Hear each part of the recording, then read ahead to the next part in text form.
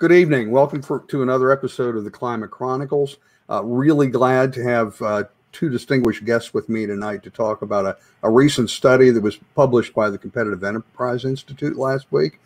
Um, before we get going here, if you like tonight's episode, uh, you can look at all the Climate Chronicles at the Inconvenient Facts website, which is inconvenientfacts.xyz. You can see other commentaries, videos, and interviews uh, ranging from temperature, CO2, polar bears, even to the uh, witch hunts of the late Middle Ages in, in Europe. Um, without further ado, I'm going to invite uh, our my two guests in to join me. Uh, Dr. Patrick Michaels, uh, welcome to, to Dr. Michaels. Uh, he's a senior fellow at the Center for Energy and Environment at the Competitive Enterprise Institute. He's also a senior fellow with the CO2 Coalition in Arlington, Virginia. Previously, he was a research professor of environmental sciences at University of Virginia and 30 years as Virginia State climatologist. Uh, he was also president of the American Association of State Climatologists. This is no lightweight that's joining us tonight. Uh, he's published numerous articles. Uh, I've got a copy right here of one of his early books, Meltdown, published in 2004. Uh, it was one of my first books on climate change that I got. Uh, his his other uh, recent books uh, include Luke, Lukewarming, and the latest is Scientocracy, the tangled web of public science and public policy. He holds a PhD in ec- ecological climatology from the University of Wisconsin at Madison. Uh, we first met, must have been 15 years ago. I believe I had you up here. I was president of the local geology society. Had you invited you up as a speaker. We enjoyed having you here. Um, and also of note, I, I quoted you uh, more than any other scientist in my book, Inconvenient Facts. Uh, I want to bring in now Kevin Dayaratna, who specializes in tax and energy and health policies as a senior statistician and research programmer for the Heritage Foundation. Uh, he's an applied statistician, has researched and published on the use of high powered statistical models in public policy, uh, even professional sports. He works on modeling and forecasting uh, for the Heritage Foundation.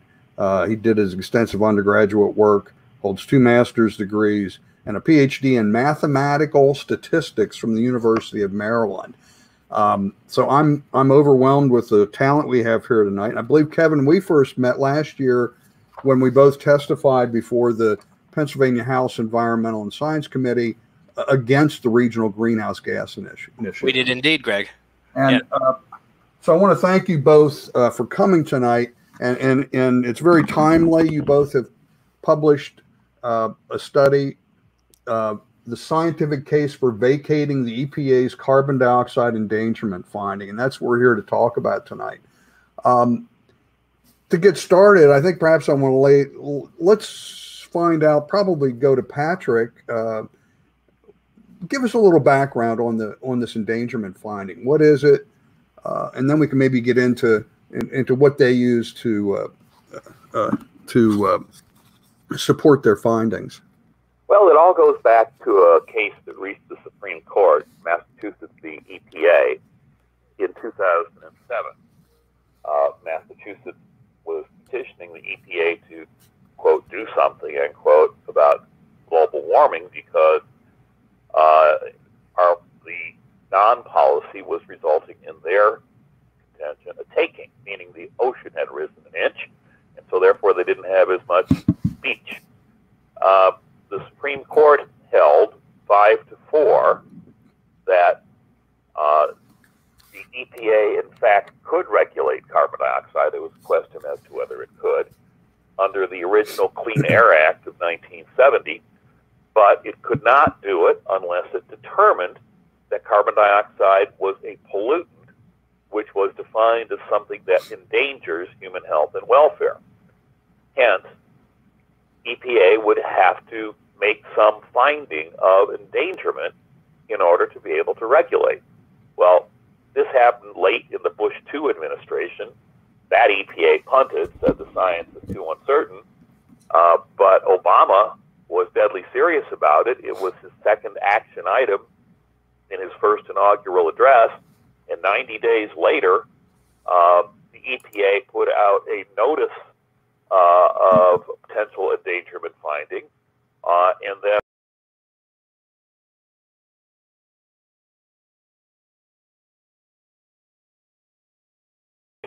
all these uh, myriad regulations, some of which were exceedingly expensive, and one of which, the most sweeping one, the Clean Power Plan, was going to be ruled unconstitutional by the Supreme Court uh, in a almost unprecedented action.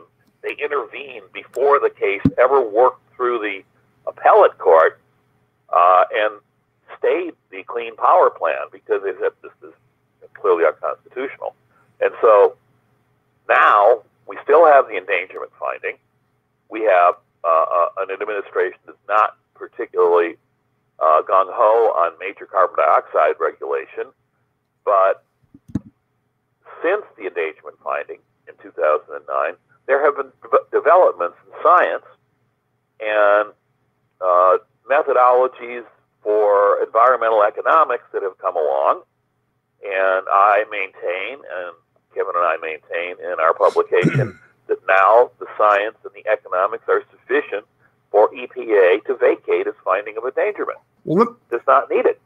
Well, let, let me ask you. We talked about when when they the EPA looked into this.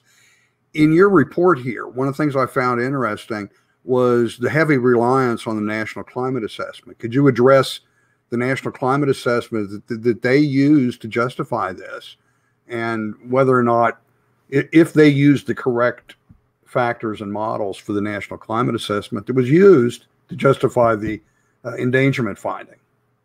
Well, under the uh, Global Change Research Act of 1990, uh, the federal government is required to produce periodic so-called national assessments of the effects of climate change on the United States.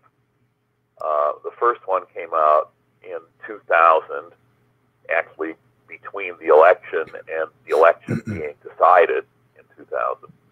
And then the second one came out in 2009, the year of the endangerment finding. Uh, how does the endangerment finding determine endangerment? Well, it applies climate models, only climate models. It doesn't use past climate change as any guide. It uses these general circulation models that have pretty system, serious systematic problems we know now.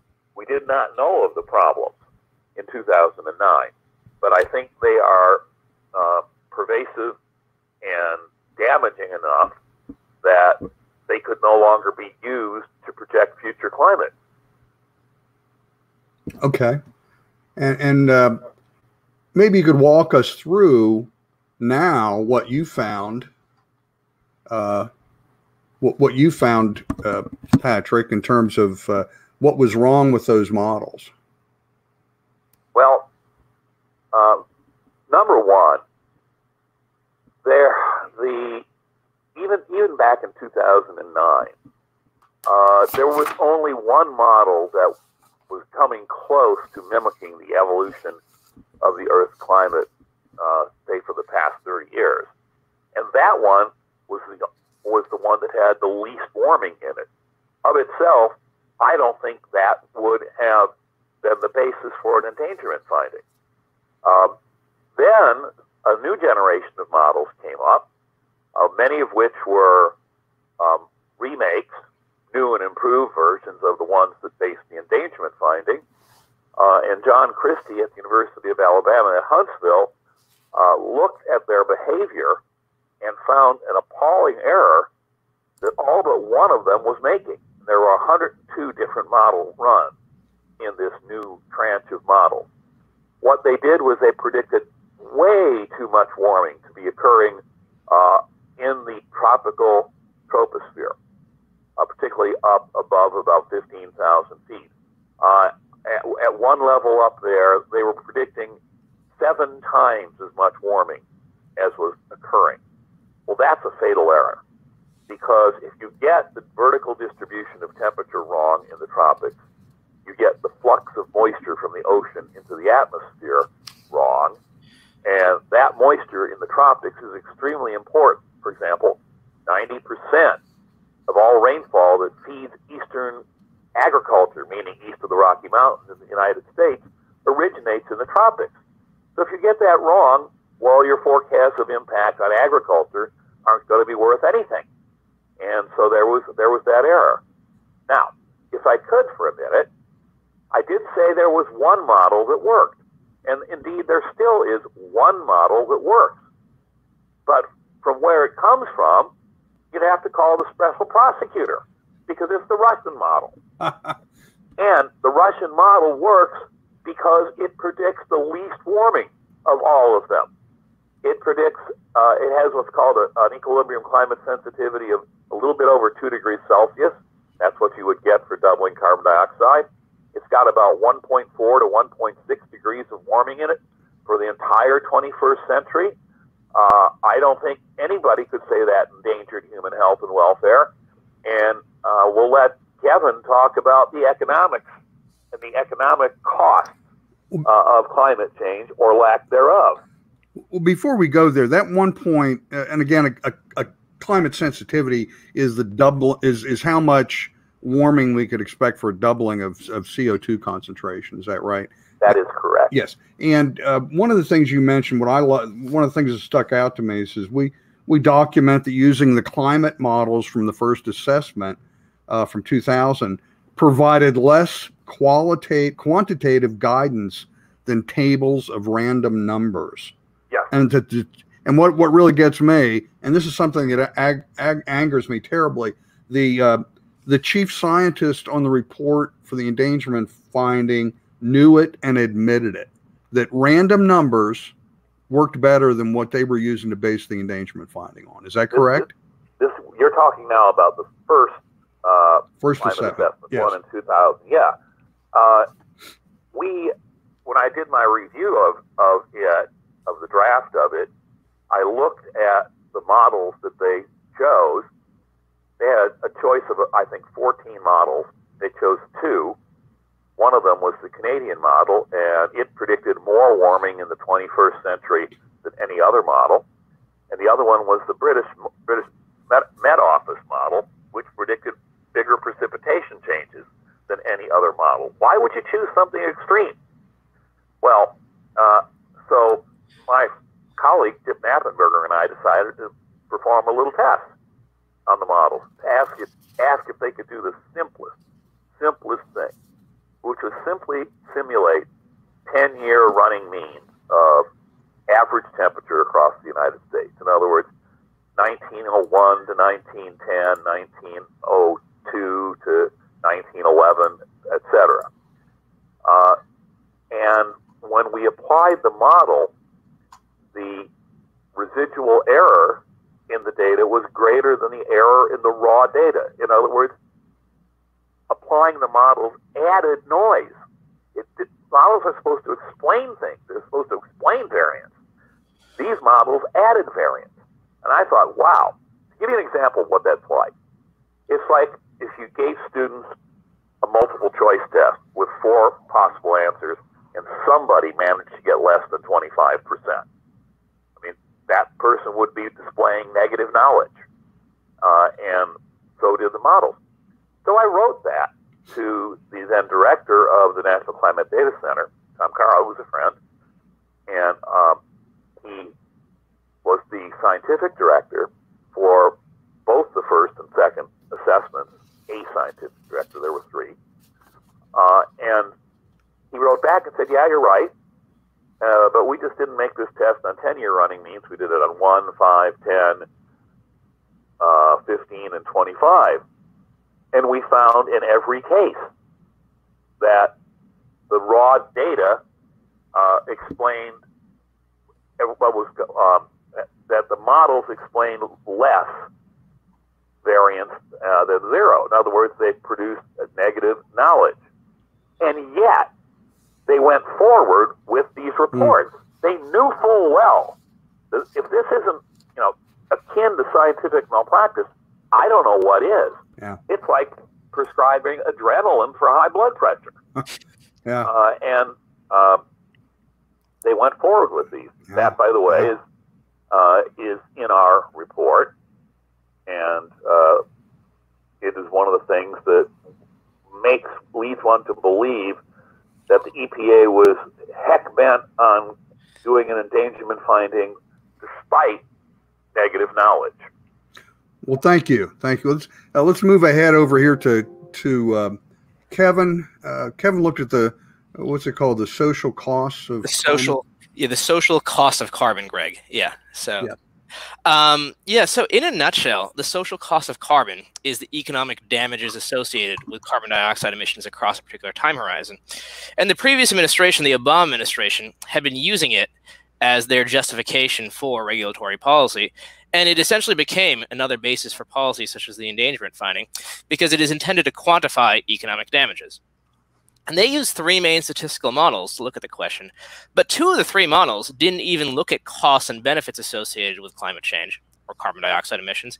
Uh, they only looked at costs. So it was pretty much completely disingenuous for them to even use those models. We looked at the third model, the FUND model, which actually incorporates costs and benefits. Uh, the costs are damages associated with climate change, such as, you know, from, for example, uh, consequences of increased uh, extreme weather and things like that, as well as uh, higher temperatures. But the um, the benefits are associated primarily with agriculture and uh, forestry yields. And we looked at the literature regarding FUND, and we noticed that specifically the agricultural component, the benefit component, is vastly outdated. The literature that that stuff is based on for the FUND model that the Obama administration was using is now about 25 years old.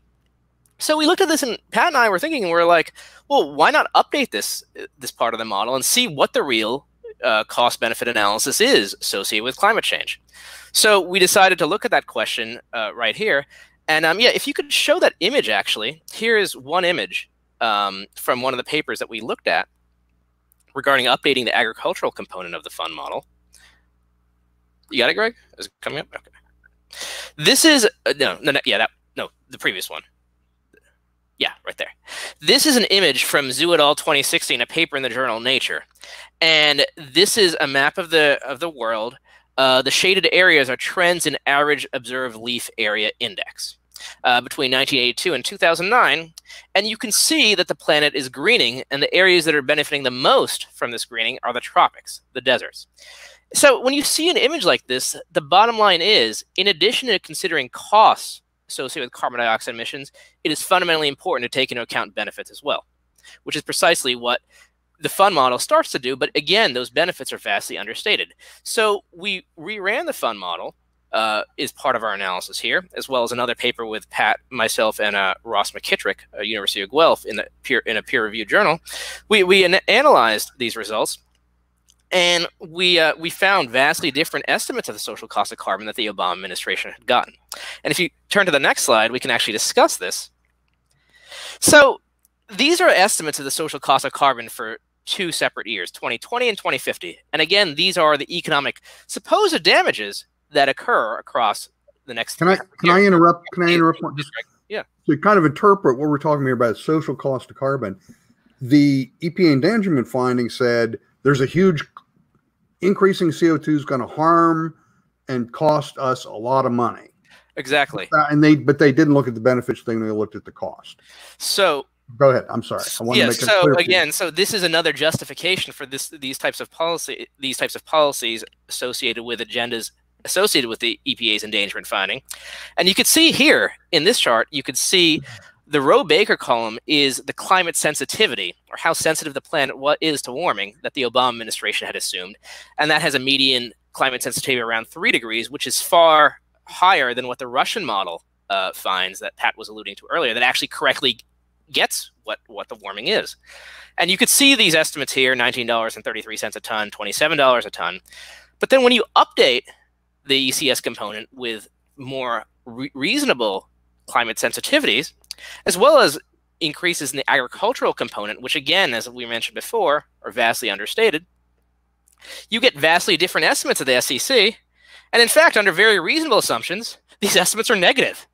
So the cost is actually negative, meaning the cost is a benefit of, cl of climate change. Uh, and again, the reason is as a result of agriculture benefits from agriculture. So the bottom line is from this type of analysis, you can see something very, very simple.